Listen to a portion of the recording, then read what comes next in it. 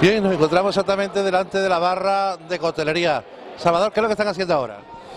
Buenas tardes, sí. Vamos a ver, el, camarero de la derecha está, está haciendo un cóctel de invención para aquí, para Antares. Es un cóctel digestivo. Ya hay personas aquí que están terminando de tapear y es un cóctel digestivo. Lleva un poquito de, de- de una ginebra, se llama la Carmela, una ginebra de, de Tenerife, muy buena.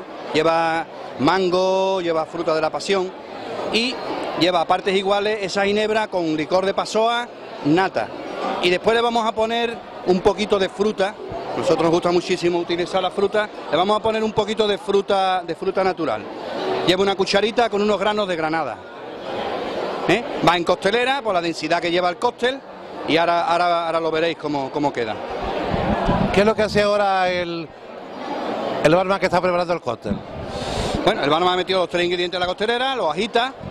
¿Eh? Por el sonido, podemos ver que po- podemos observar que por el sonido del hielo, cada vez menos seco, con lo cual es porque el- los elementos de dentro están más, más mezclados ¿eh? y no lo podemos ver aquí, pero cada vez estará la costelera más fría, evidentemente. Está sirviéndolo la copa. Y ahora Ahora lo va a terminar con la, lo va a terminar con la granada, la cucharita de granada, que prácticamente es un maridaje con el cóctel, la fruta tropical, vamos, en este caso no es una fruta tropical, pero es una granada que le va a maridar perfectamente con ese cóctel.